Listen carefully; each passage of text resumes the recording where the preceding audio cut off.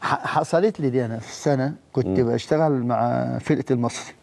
وكنت بشتغل مع مستر أبو علي مستر كامل مستر كامل أبو. علي وحصل برضو ضغوط كده اتغلبنا ماتش فخد قرار انه يعني إن أنا أمشي وبعدين القرار طبعا يعني وا- وإحنا كنا في ساعتها بنأدي كورة في المصري كانت يعني على أعلى مستوى آه بس النتيجة لا النتائج كانت كويسة كانت بس كويسة. يعني آه فلما النتيجة حصلت ديت في ملعبنا وكده وحصل يعني الظاهر برضه أنا أظن إن كامل بيه آه، يعني يعني ندم بعد كده في إن هو خد القرار دوت وأنا حسيت بالكلام دوت بس كانت كانت خلاص بقى الأمور بقت والله صعبة كابتن مختار أنا آه. دايما بقول إن اللعب في ال في ال يعني سيبك من الأهلي والزمالك معظم معظم الوقت مدربين أجانب أنا بش- بشوف إن اللعب في في المصري آه وفي الإسماعيلي برضو صعب قوي من حتة الضغوطات م- م- الجماهيرية عشان. الجمهور. آه. الجمهور آه، ما شاء الله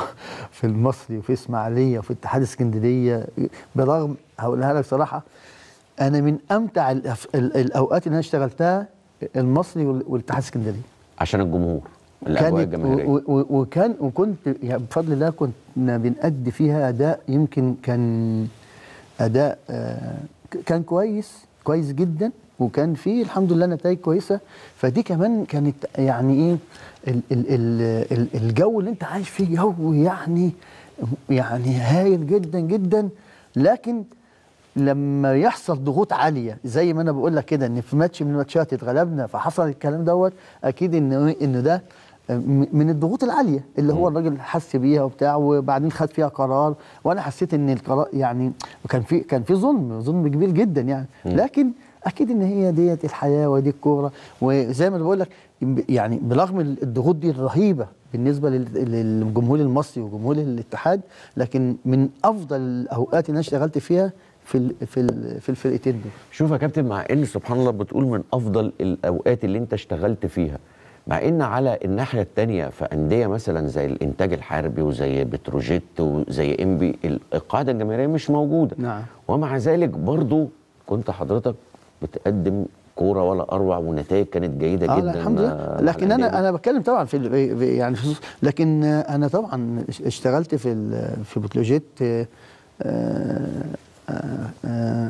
خمس أربع سنين خمس سنين. خمس سنين. آه كانت آه، كنا بنقدم فيها كورة على أعلى مستوى. وفي الإنتاج إيه ثلاث أربع سنين؟ آه، خمس خمس. سنين. خمس. سنين آه برضو وبرضه الإنتاج الحمد لله أنا يعني الحمد لله. اللي قعدك فترة طويلة يا كابتن خمس سنين هنا وهنا. معنى ها؟ كده إن كان في كيمياء ما بينك وما بين اللعيبة وفي نفس الوقت آه. كيمياء ما بينك وما بين الإدارة آه لا. الحمد لله. يعني ص- صراحة الإدارة كانت في الإنتاج صراحة يعني على على المستوى العالي.